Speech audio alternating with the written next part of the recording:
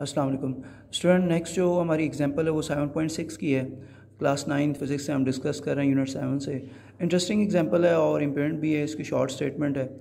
एक बर्ज है बर्ज किसे कहते हैं? कश्ती को कहते हैं, नाव को कहते हैं, जिसकी वो 40 मीटर लॉन्ग 8 मीटर ब्रॉड वो बता रहा है। इसका मतलब है ये सबसे पहले हमें एरिया प्रोवाइड कर रहा है तो ये हम लिख लेते हैं।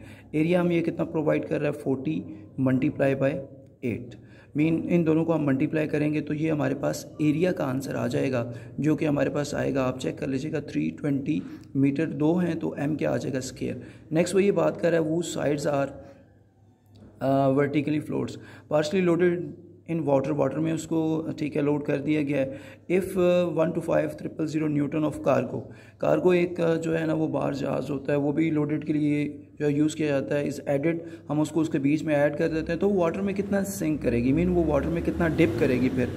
अगर हम उसमें फर्दर जो है uh, इस चीज़ की एडिशन कर देते हैं जिसके मतलब उसने बताया कार्गो के और उसका वेट हम डब्ल्यू से रिप्रेजेंट कर लेते हैं और वो उसने हमें कितना बताया गया one two five zero zero zero newton